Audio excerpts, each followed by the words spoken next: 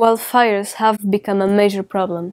Natural resources are destroyed, the economic value of the forest is hindered, and lives are threatened. 2017 was a particularly catastrophic year for Portugal. Around 100 people died, and it is estimated that a total surface of about 40 50,000 hectares were ravaged by fire. This burnt area corresponds to 60% of the total burnt in Europe, a number that's even more impressive when we realize that the Portuguese territory represents just 2% of the European continent. Let us take a look at the evolution of the burnt area in Portugal in the last 15 years. The red line represents the average burnt area of this period. We can see that 2017 value is way above this average. Never before such a large surface has been burnt. Recent studies predict that wildfires will become more common, more severe, and that we will start having longer wildfire seasons. Policies apart, what can scientists do to minimize the risk and the damage caused by wildfires? In other words, what does science have to bring into the field of fire prevention and fighting? We can start with the understanding of fire behavior. We can study the physical and the chemical mechanisms underlying it. We can study past wildfires, we can go to the lab and perform experiments. From here, we are a step away from a computer simulation of a fire. And that is exactly what this project is about. In particular, we want to simulate the mega fires of 2017 by using cellular automata.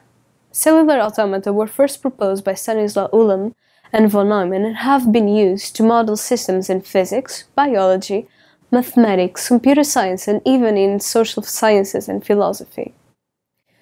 To perform a cellular automata simulation of fire propagation, all we need is a grid, for instance, a two-dimensional grid divided in square cells. Then we define a neighborhood of a cell. We can choose the four cells sharing a side with the central cell, or we can go for any cell that shares either a side or a vertex with it. These are just two examples of a neighborhood. Now we must define the few possible states of a cell. In our case, cells can be either flammable or not flammable. And from this we have not burning, burning and burnt cells. And now we make our system evolve in time, let's say every 10 minutes. To have an evolution, we must set our rules of propagation of fire. We allow fire to be propagated from a cell on fire to neighboring flammable cells. Only the cells that are not burning can be ignited. The burning cells will be fully burned at the next iteration.